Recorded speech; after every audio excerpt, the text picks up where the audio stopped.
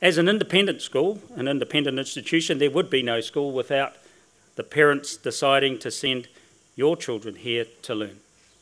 That the school has a full roll, despite the many challenges that you've faced, is testament to you all. By continuing to send your children here, you, the school's parents, have underscored the fundamental principle that living in a community requires. Whether that community is a school, a city, or a country,